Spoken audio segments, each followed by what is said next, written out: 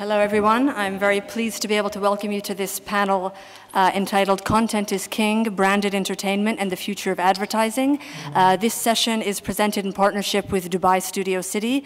I'm very pleased to be able to welcome our panelists today. We have James Morton Howarth from Gramafilm, Samir Shuairi from Publicis Communications, Paul Trillo, branded content filmmaker, Chris Capstick from Motivate Media Group, and we're delighted to have the moderator, Jose Papa, Managing Director of Cannes Lion. Please give them a very warm welcome.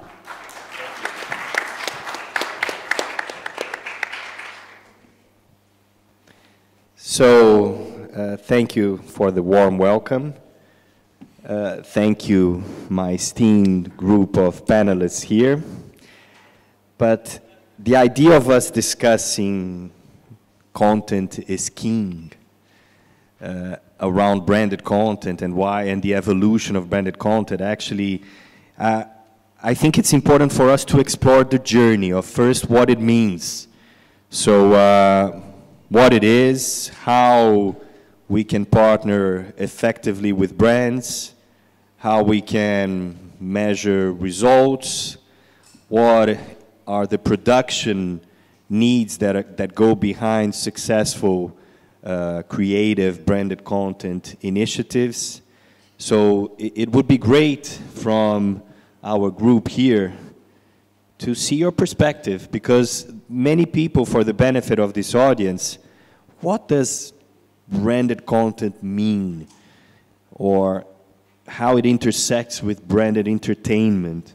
Or is it the same thing? So it would be great to hear each one's perspective and then we jumpstart our debate here. James.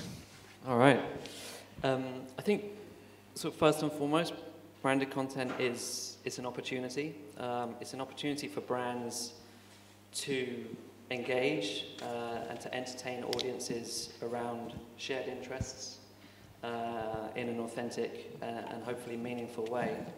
Um, but at its heart, it's entertaining content uh, across film, video, but also across other platforms, social platforms, and not just limited to you know, film and video content. It can be apps, experiences, and events, um, which is the kind of things we're doing at Gramafilm. Paul. yeah, so, I mean, branded content is, uh, to me, it's always been like a funny term because it's, uh, it's so vague. Uh, and it's, it's literally everything. Um, it could be it could be a film as like we're talking about. It could be an event is like branded content. Uh, so I don't know. I guess as it relates to me, I see it as uh, an opportunity uh, to have like a patron.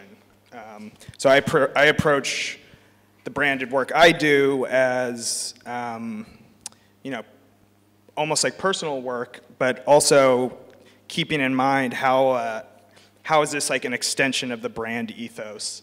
Um, and I think that's, uh, that's the key. And I think that branded content that fails is something that doesn't quite understand like who they are as a company. Uh, like if there's any sort of identity crisis at the company, uh, you're going to get kind of muddled branded content. So um, it's my responsibility to make something interesting, but also kind of like uphold the, the identity and integrity of, of who's you know sponsoring, who's my patron.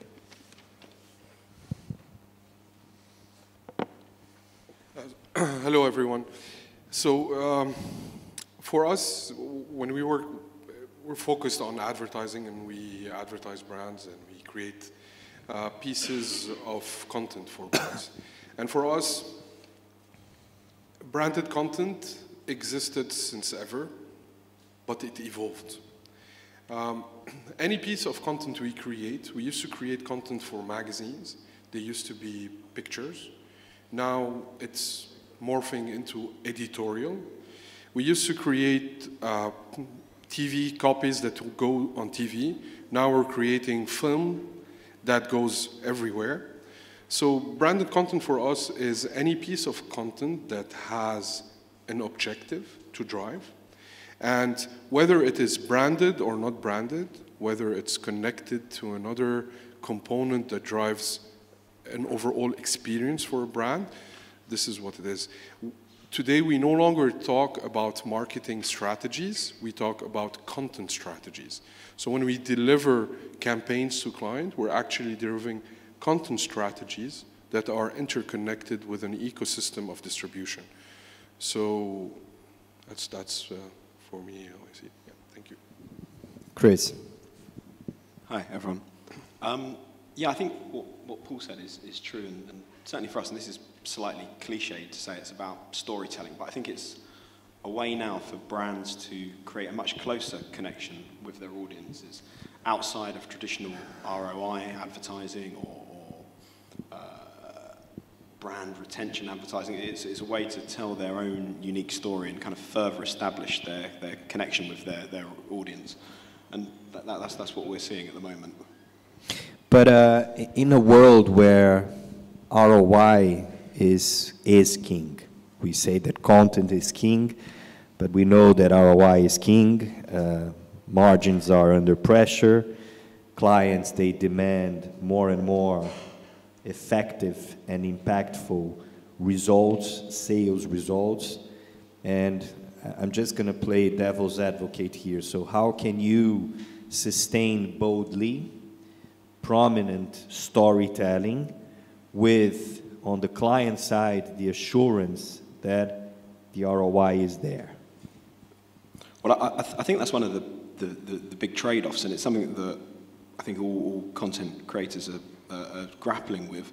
Um, the, the, there's, there's two different uh, approaches, really. I mean, there, there's the need to sell product and drive ROI, and that's the first thing brands look at, and they, they want to see a return on investment for the money they spend. But then there's also a long-term game, which is investing in consistent and good quality content creation, be that a series of blog posts or um, a video series, and running that consistently and trusting in the people they're working with, trusting in the creators to, to produce good content that will resonate with an audience. It may not have an immediate uptick on the bottom line, it may not uh, see an immediate increase in sales, but that consistent creation of content that's resonant for a particular audience will ultimately strengthen, strengthen that connection the brand has with its, with its customers over time. How brands get that signed off, how they communicate that to their finance departments and when they're setting budgets is, is, is, is a different thing, and that's something that we, we, you know, we need to get closer to, to kind of helping them solve at the moment. Yeah, I think, uh, I think what you touched on is, is the sort of the key to branded content is um, duration uh, and uh, how long, what is your commitment uh, and consistency uh, with the content you're creating. Um, I think the ultimate goal of branded content is transformation of perception of the brand, and perception takes a very long time.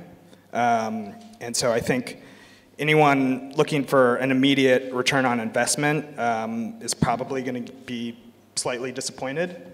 Um, there's, you know, there's different cases where, you know, maybe, for instance, like if you're advertising a camera and you're doing a short film that's using the camera, there's like a direct product that relates to what you're creating, but that's like a uh, more of an exception to the rule. That most most of the time, this is the brand investing in a long-term transformation of uh, how the public views them.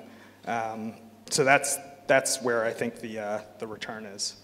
I think one of the dangers is that um, there can be a sort of Me Too attitude. Um, we get brands that see successful work that we've done for other clients and they say, well, we want to do that. We want to do that, but with our logo on it. And you're like, it's not going to really work uh, that way and, and we can't help you. But, you know, if we want to build a strategy and have a clear plan of, you know, what is your brand philosophy? How can we communicate that in a way that is entertaining? And that is the key. You've got to entertain audiences today.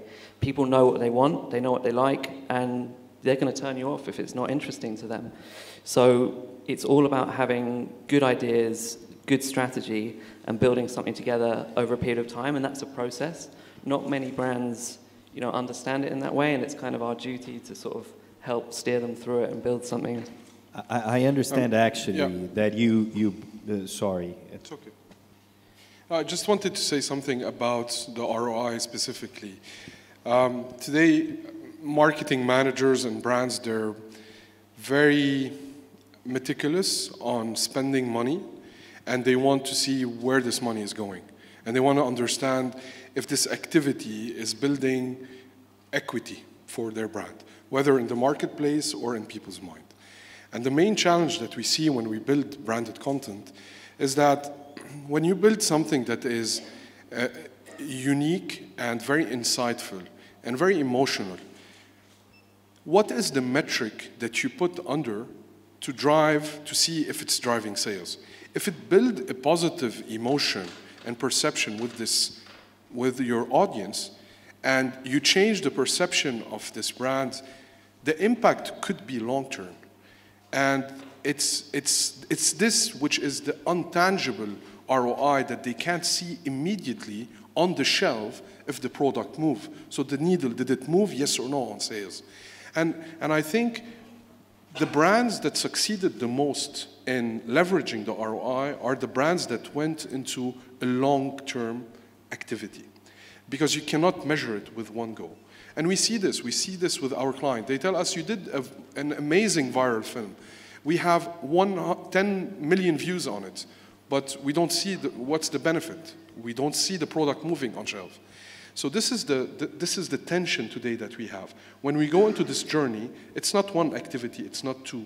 It's an ongoing activity that is that has a little bit of both. Uh, so, so, this is a brilliant segue here for uh, maybe showing what is one of the best global benchmarks in branded content. It's uh, James's video. You brought it, no, from. Yeah, so uh, you know we're very fortunate. We've um, developed a relationship with Red Bull over a number of years. Um, actually, the first clip we made for them uh, was for a long time their most successful piece of branded content in terms of return on investment the clip with Danny MacAskill um, riding his bike across Scotland. Um, and that's led us on an exciting journey with them as they've grown and developed. One of the interesting things, we'll play the clip in a moment, um, is that now other brands are coming to Red Bull and hoping to learn uh, and also partner. And that's an interesting sort of trend that we're seeing, not just with Red Bull, but with other people as brands coming together to co create. Uh, and when that happens in a, in a beneficial way to both, I think it can be quite exciting. So this is, um, this is an early trailer for, uh, it's a half-hour documentary um, for Red Bull uh, and Jeep. And it's um, the story of a big wave surfer called Andrew Cotton from the UK as he um, thinks he's found the biggest wave in the world to surf. Uh, and it's three miles uh, off the coast of Ireland in the Atlantic. And um, well, we'll see what, get a clue of what happens. The first time I actually saw the wave, we had two jet skis, we were driven like 45 minutes out to sea, it was freezing cold, it was January. Was giant, giant, perfect, so much water moving. I knew that I was going to have to come back.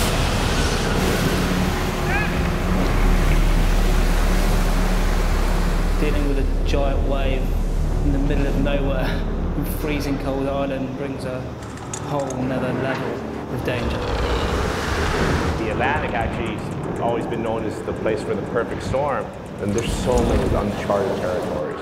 Where it was barreling, that was where we got pet. It's big. Whatever happens, it's big.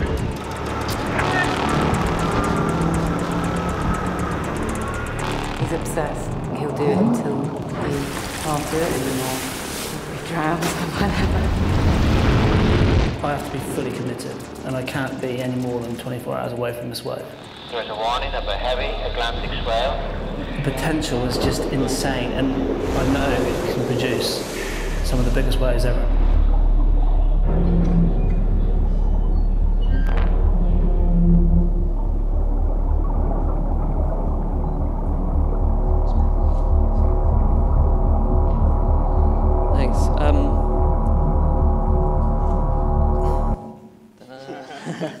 Um, so, you know, the, the, the, partnership there is very authentic. You know, these guys have got a journey to make and, you know, they need a car and they're in a Jeep and it's very subtle. You would see those shots no matter what the car. Um, so, you know, I think that worked very well for both parties. It's a long form piece at half an hour long that you can find on, on Red Bull's channels. Um, but then we build out a kit of parts that aren't just cut downs of the film. You know, they're pieces of content in their own right that work for Jeep, that work for Red Bull, um, and that build anticipation around the project. And, and what kind of partnership you need to build with the CMO to see organizations embracing initiatives like this one, where you have a 30 minute piece that you do not show in one single minute a piece of their, their own merchandising. So uh, it's not about the drink, it's not about the nature of the drink, it's about lifestyle, it's about adventure, it's about stretch over limits, it's stretching your limits, etc. But how bold a brand needs to be to build something like that. So, what is the kind of a profile of the new CMO that embraces initiatives like this one? Yeah, uh, I mean, if, if you look at the piece uh, that we just saw, it's beautiful, by the way, uh, congrats. Um, the, the model of Red Bull today is they make more money out of their content than out of their drinks. So it's true there's a mindset, definitely, into it, but also the opportunity of identifying what this small change in how you used to do stuff can affect your business and your business model. And Red Bull today started with an experiment to be true to themselves on what they believe their brand is and their communication and their audience are and what they like to watch and what they like to see. And they built on this huge capital that transformed their business. Sometimes it's not in, it should not stay in the CMO realm. It's a decision that goes into CEO if they see it. But in less traditional firms that um, have a hierarchy that is more structured and maybe less agile than, than organizations, uh, uh, we're not all as lucky as, uh, as you to work on Red Bull. Um, but you, we, we feel that there's a bigger tension between the CMO and the CEOs. The CMO who wants to drive better creativity, build their brands, and in today's global economic situation, we see they are being um, um, hold, hold off by the CEOs who want to drive sales results. Uh, and that's, that's the reality. Uh, it's not that the CMO is, they're not trying, they are. They understand how digital and branded content is changing the industry. But sometimes the reality, the economic reality, is not allowing them to do what they want. And actually, this is one eventually for you, Chris, because this is a brand that is a global brand that has been investing massive resources into building these amazing, beautiful stories. But when we talk about regional markets, you see that you have regional budgets, regional limitations, how can you be creative working with less resources? And I don't know if you have good, good examples for the MENA region here on cool branded content solutions and initiatives that are working on a regional basis.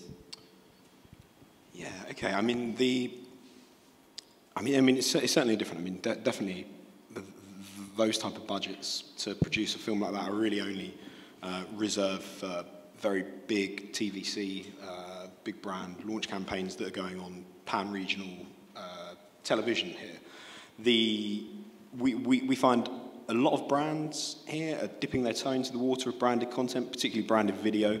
Um, they don't necessarily want to spend a lot of money, but they kind of expect by some sort of social media alchemy that, that the videos will go viral. And, and that's not to say it's not impossible to make a great video on, on a limited budget, but there, there, there is a, a, a, lot of work that goes on behind the scenes.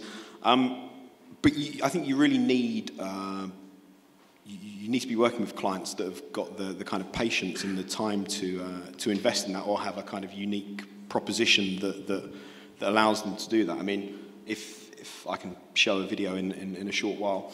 Um, we've produced a series of films for uh, a hotel brand called Rove Hotels. They're part of Emaar, and their, their kind of very unique proposition is they want to reach a millennial audience. They want to reach kind of backpackers that are passing through Dubai that uh, may be kind of put off by uh, staying in a five-star hotel. And one thing we've obviously got loads of here in Dubai is, is five-star hotels. They're, they're everywhere, so their kind of um, plan is to kind of differentiate that. So we, we shot a series of videos, about 15 videos with graffiti artists, with poets, with musicians, and they're all shot on pretty basic equipment, either shot on Osmos or iPhones, uh, a few Canon DSLRs, um, that were kind of shot on, on, a, on a low budget. And it actually became quite authentic, and, it, and it's worked well for them because the audience they want to reach aren't necessarily looking to be kind of overwhelmed with a big budget production.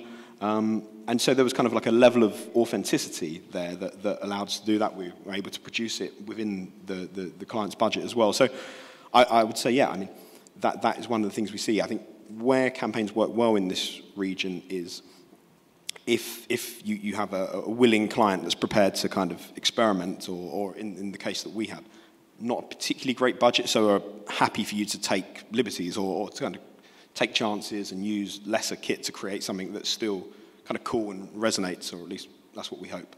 Do we have the video? Great.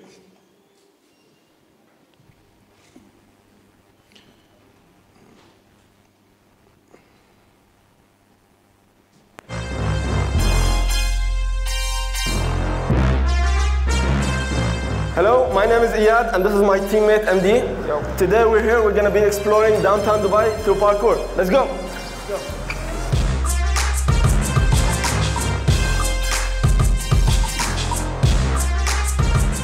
Parkour by definition is getting from point A to point B in the fastest way possible. What we like to do is add our own style to it, our own twist through adding some flips or different ways of doing it. it doesn't have to be as fast as possible.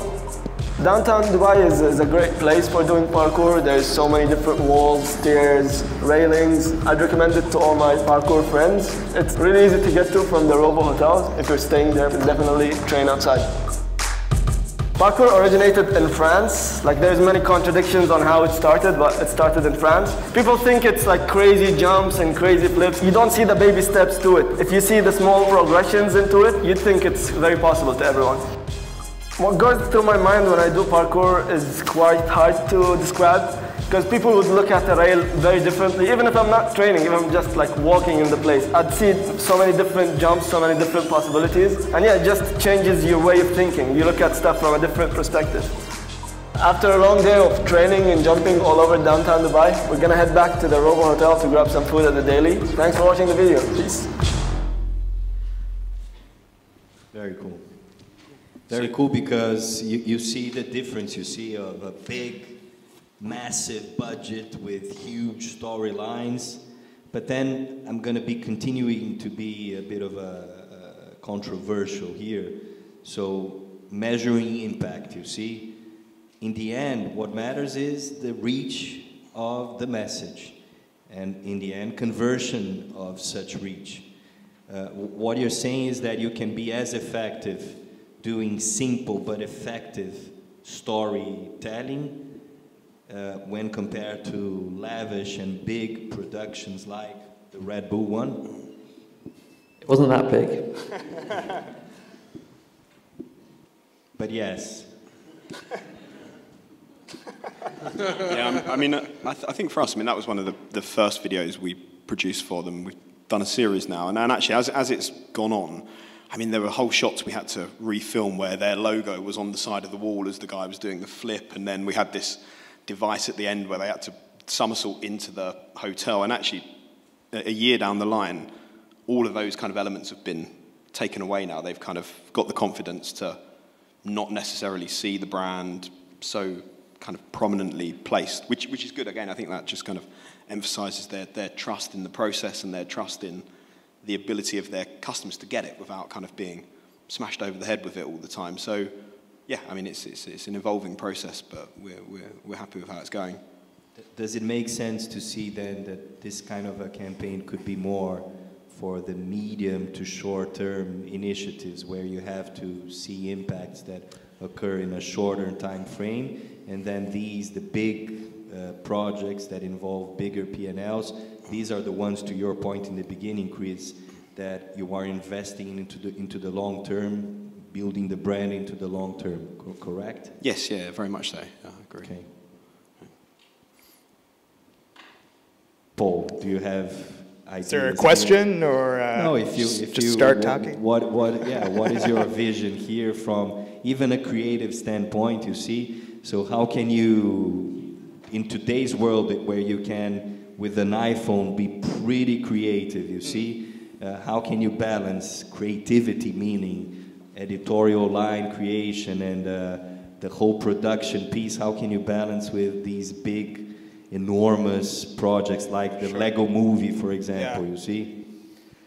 Yeah, I mean, um, the I think a lot of my work is, um, at least, you know, the shorter form work is technique based or effect based, or there's some sort of illusion or trick that's going on, and um, you know, I, I try to think conceptually about, you know, I try to create a rule and then like stick to the rule um, when creating something, whether it's short films or music videos.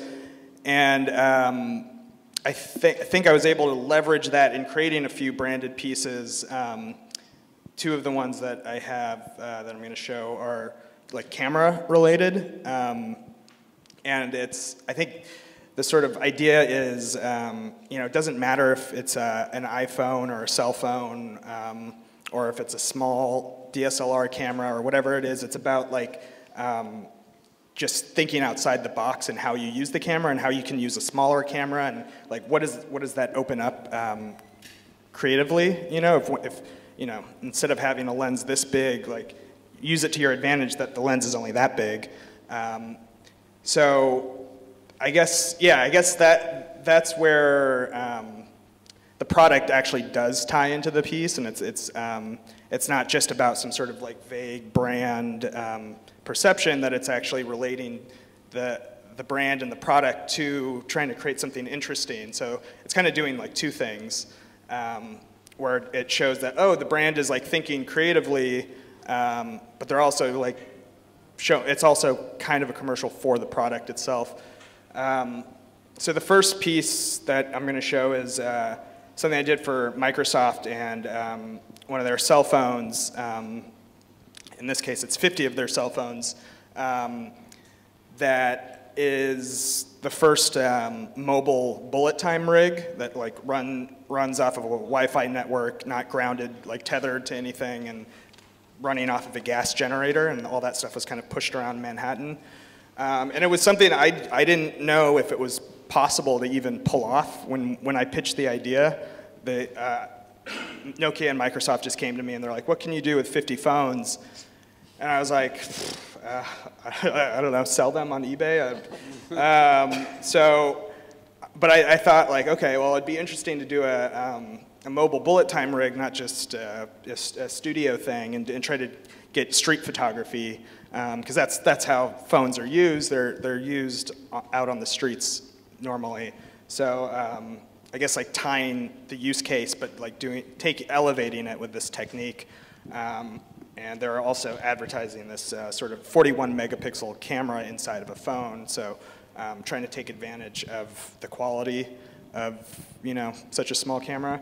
The second clip is um, also for uh, a cell phone company, I guess, but uh, but the product isn't related. It's for Samsung, and it was just a um, it was just a short film series that Vimeo had kind of helped facilitate, where they got Vimeo staff pick filmmakers and they paired it with the brand and um, had a very wide open brief about how technology connects people. And um, there's some amazing films in the series. It's called the Connected series. Um, and people, it was, it was cool to like see all the different directions different filmmakers took with this like, literally the brief was just how does technology connect people and it, that, there's nothing else with it, which is like kind of daunting, but it's also exciting and um, it allowed people to just approach, um, approach it as if they were creating their own work.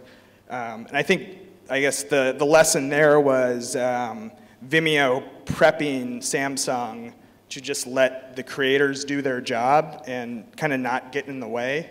Um, I think that that's, that's a key aspect in creating good branded content is uh, uh, a level of trust that's like built on it, like the, it's like a foundation of trust. Because um, if there's any sort of cracks in the foundation, you're going to see see it ripple effects later of like you know brands feeling insecure about the final product and all this stuff. So it's really it, it, it, it takes time for the agency, in this case Vimeo, which was sort of acting as an agency, um, to like really establish the trust with the brand, um, to create work that people actually want to watch.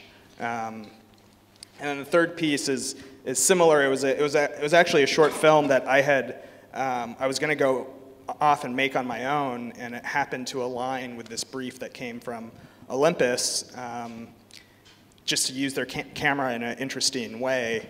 And it, it, it worked out great because it was a lightweight camera, and the camera is attached to someone's body the entire time. Um, so that was an amazing just kind of alignment of stars where I was, I was about to spend my own money uh, to make this film and literally like the next month uh, Olympus came around uh, with this brief and I got to make, you know, a short film that I think, I, I don't know if I would have done anything differently had there been no brand. Um, so I, you know, it was uh, it was a unique opportunity, but I thought it was cool that Olymp Olympus like didn't give any notes and just kind of like let the people do their thing. So can, can I yeah. just ask on that? Yeah. So, what what relationship did you have with them beforehand for them to have so much trust in you to do that? Because that's really interesting. It's a really bold film, and sure, it's, it's impressive that they, they yeah. I mean, uh, personally, I, I had. Um, no relationship with them, um, which makes it all the more bizarre. Uh, they that was again that was facilitated through Vimeo. So I think Vimeo was leveraging their, their brand of, hey, we have um, interesting filmmakers on our platform. We have a, a, a collection of staff-picked films and uh, filmmakers behind those films. That's like, that, that is like Vimeo's like resource. That's what they have to offer. And um, they've kind of separated themselves from YouTube uh, because of that. So, Olymp so when they do these brand partnerships, um, there's this understanding that, um, hey, look, like people don't always have, uh, you know, inside the box ideas on Vimeo. They're not, um, or they're not vloggers. They're, they're, each Vimeo creator does what they do, um, and just let them do what they do. And, uh, and you know, fortunately, the, the brands listen to that. They, I, I, guess they know why they're coming to Vimeo, um, and uh, yeah, so it's, that's, that's where the trust comes in. But I, I had no, no talks with, uh, with the brands directly. And, and in turn, they also like, didn't really provide feedback on the stuff, which was bizarre. I do a lot of commercials too, so I'm, I'm used to feedback. I'm used to things being destroyed. Uh, so it's, it's, it was, yeah, it's a, it's an unsettling feeling when you get no notes. Um, and then the, the second, or the Microsoft thing, that was actually with um, with like Microsoft Brand Labs. I knew um, someone at the Brand Labs there, and um, that was a direct relationship. And it was his job to sell it up the chain, um, but we had a really good relationship um, that kind of just built over time and um, actually started out as um, Nokia was doing their own branded thing on just like profiling artists, right? And this was like part of their brand perception. They somehow found me and they're like, oh, you do kind of weird video stuff. Like maybe you can do weird stuff with our phones. And then that, you know, four projects later, like, uh, you know, we kind of built this relationship. So, yeah. Do we have examples? Uh, I hope so. Yeah.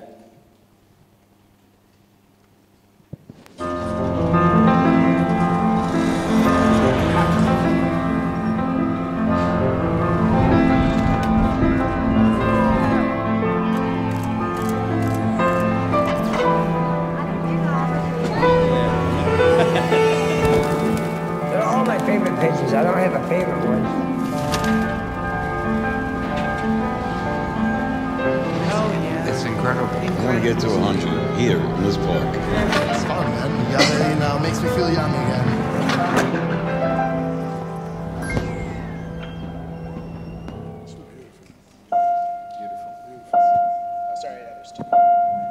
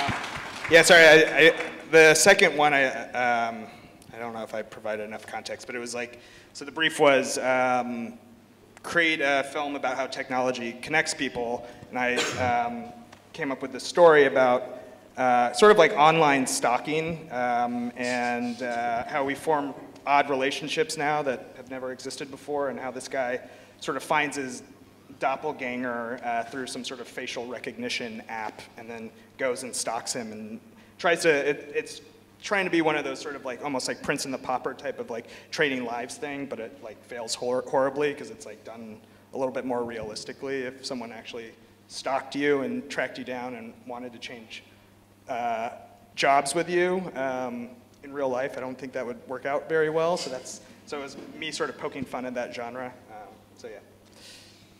So one of the things that I see is the biggest challenge. You have such compelling tools to produce awesome content today, and you have the brands beginning to engage in these journeys, but people have their time span so short, and and there are so many multiple different platforms out there. Attention spam is so difficult. So how, how can we balance getting the message across in a purposeful but effective way given we have so many different elements of attracting people's attention, you see? So, yeah. how can you differentiate yourself from the crowd? Oh yeah, I mean that's, that's the that's the hardest thing. Whether you're making something a personal piece or uh, a piece for someone else, and I think it is it is sort of an uphill battle because people, you know, it's like, oh, you have to watch this film made by this giant corporation. Like, you know, like what? It's like hard to write like the uh, clickbait title for that. Um, there, there's an immediate like turnoff, I think, when people are like, I really want to spend like 13 minutes watching like a commercial. Um, so you, I mean, it just it has to be different. Um, it really just you have to be offering some. You can't just be like um, kind of what you were hinting at. You can't just be like, oh, we want to do what they did, uh, but, but with our logo at the end. You have to be, uh, the brand has to be willing to just try something new and tell like a, tell a story that has just integrity on its own, regardless of the brand. And, and Samer, if, if you saw, like, you have an amazing project in your hands, but you're challenged to get the message in a powerful way across, and uh, so what, what, how you would define the strategy to kind of uh, which platforms you would use, how you would trigger this message to viralize, you see, and make it really purposeful on both the audience reach, but ultimately becoming a commercial success. Yeah, so um, that's what we, we call in today's age um, as a campaign, a social media campaign, where ultimately we start with a piece, a branded content piece, but around this piece we create an interconnected ecosystem of content and people that can participate. So you end up building an experience. You don't end up stopping at one piece of content. So and the experience, and we have a, we have a case film, it's not a piece of content only, that will showcase how we did that for Johnnie Walker in, in Lebanon, and we actually um, started from an insight where the country used, was passing through a very, very difficult period of time.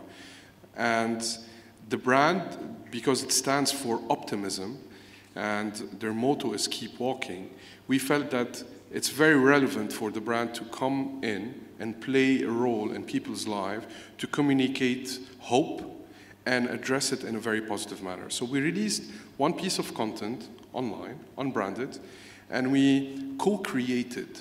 So one way we feel that branded content can happen, the same way you can create a film with a content uh, uh, uh, maker, you can co-create with bloggers, with influencers, and with people. So we went down to the streets, we created with people, we engaged with them, and I think the case will, will show you how from one piece of content, we ended up creating more than 200 unique pieces of content with starting from our piece and then with people and bloggers and influencers uh, all over. So, Do we have it? Yeah. Great.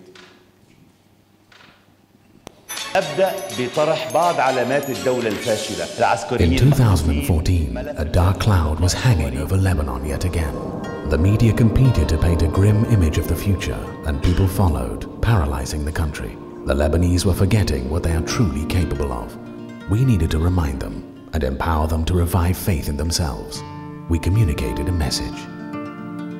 ببلد فوقه عاصفة قاسية قلبها بارد عايشة شاعلة نارها دافية A resilient flame battles a menacing storm. وتروح وناري باقية ما بتنطفي We released the film during the grim 8 o'clock news and on social media.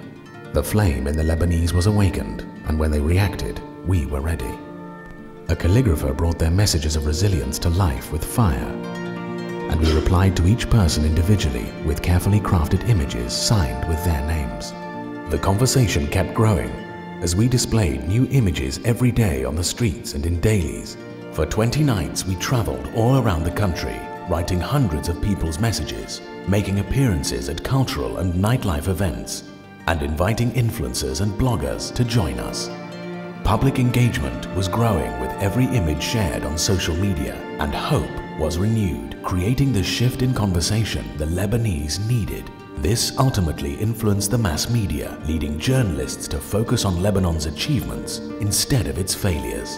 And the most watched TV talk show that had declared Lebanon the Republic of Failure started 2015 with an episode titled The Republic of Hope. من جمهورية الفشل إلى جمهورية الأمل هدول الاشخاص اللي شفناهم اليوم مثل كتير كبير على قديش في طاقات وقديش في ناس شاطرين بهالبلد By 2015, it was clear that whatever storm may come in the future, the flame in the Lebanese burns on. Amazing. I'm gonna ask you to drive the same campaign in Brazil, my home country. I have to say, like, I think that's what's really exciting about branded content is it's a real-time thing that you can grow and adapt and tell the story as you're going. It's not a commercial, a spot that's done months in advance and just goes out in one place, and that you can be on all these platforms, change things as they happen, and create that level of change. Is yeah, really nice. Conversation, right? Yeah, That's, that's about the, the sustainability of, of um, good branded content is uh, creating the conversation.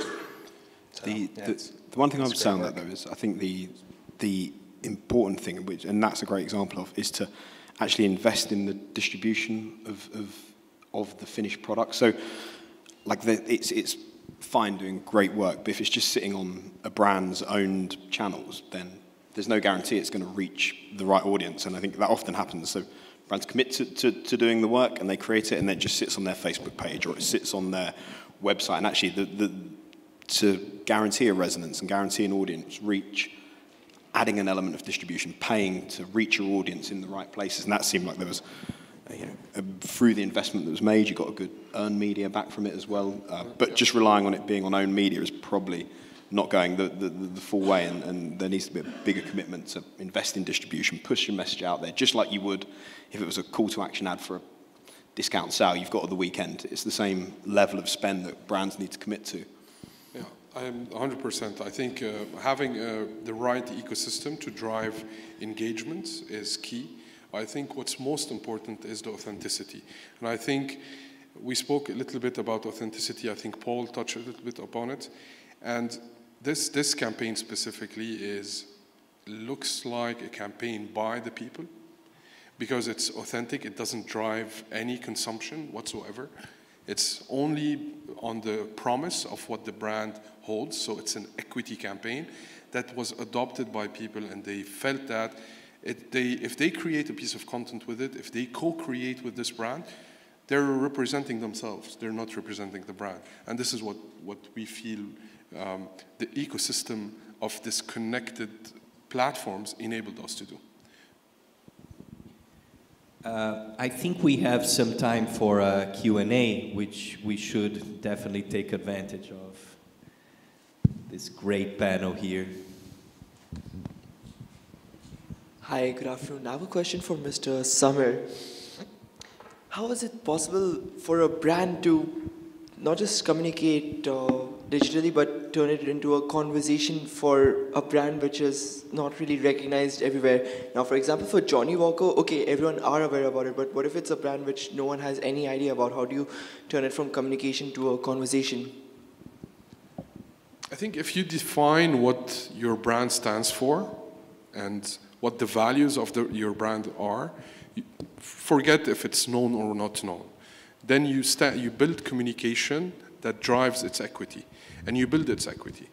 Johnnie Walker was not built in one day. It took time, true. It's a mega brand. But you have other brands in the region, small brands, that mushroomed very, very fast because they were very true to what they want to be and what they want to represent. And after we define this strategic guideline of who you are and what you want to be, then your communication can fall easier because then you create true to your equity. Hi, Nick Walsh from Media 971 based here in uh, Dubai. There's a lot of conversation at the moment about how big brands in particular who will have the resources are going to become their own publisher. So people like us and you who've made films or written copy or done whatever we've done in the past will kind of go in-house in an in-house newsroom. What's your view on that? Uh, if I, I, I, th I think it's, it, it's good and it should be encouraged. Um, there, there is, the, the only thing without, the, the, the danger, I guess, is not having an outside filter or an independent company. So for us, I mean, we're a magazine company up to five years ago, and we've, we've diversified since then. But a good director, a good journalist that ha has an eye for what resonates with the end user. And, and what we've seen with some brands that have created their own kind of storytelling labs or their own content studios internally is everything becomes this kind of push content. As much as they, they don't want it to, they, they, they inevitably, by being in-house, end up sell, sell, sell, and, and there's less kind of thought for the, for the, the, the end consumer. So yes, it, it can work, but, but brands really need to, even if they employ a, a brand publishing arm or, or an internal content studio, they need to do so with, with a view that that will be an autonomous business that will make its own decisions and kind of operate independently from the kind of core P&L or the core ROI requirements of, of, of, of the, the brand. That's my view. I'd just like to highlight one thing. I think it's what's super exciting about what's happening today in this medium is that you see your traditional model of agencies and production houses that used to produce these pieces, they're questioning that. I'm not sure if this has been solved. It's not. There's the co-creation model that works. We work with Vimeo, we work with YouTube, we work with uh, end directors, filmmakers. We, we, we're trying to work. Sometimes we're even pitching agile structures where our content arm is not defined. So we define who to work with by project. This is evolving, and I think it's a witness of how times are changing. Uh, from, an, from an advertising standpoint, as an advertising agency, um, I tell you that we recognize that we need to go beyond our creative pool of talent to sustain delivery of people expect from us today, and we recognize that times are changing and we need to change our creative model.